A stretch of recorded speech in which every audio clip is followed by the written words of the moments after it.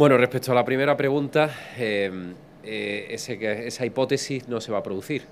No voy a tener que negociar con Vox porque voy a ganar con mayoría suficiente y voy a gobernar con un gobierno monocolor. Y por tanto, esa opción de tener que negociar con Vox es improbable ahora mismo. Y desde luego yo voy a trabajar todos los días, todos los días, hasta el último minuto del día 19 de junio para alcanzar una mayoría suficiente que nos permita gobernar con una sola opción de gobierno, por una razón muy sencilla, porque podemos llegar más lejos y llegar más rápida ahora en estos momentos de, turbulencia económica si hay un gobierno sólido, un gobierno fuerte, un gobierno unido, un gobierno que tenga que no, digamos, estar dedicando energías precisamente a esas negociaciones.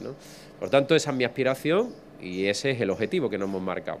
Yo creo que el señor Espada tiene una obsesión con Vox. Yo creo que todo, no hay meeting, que tiene dos claves que son fundamentales, una eh, atacarme y la segunda utilizar a, Vox. Creo que Sánchez necesita y el Partido Socialista necesita a Vox. Y prueba de ello es que es parte de su argumentario, parte de su discurso permanente. ¿no?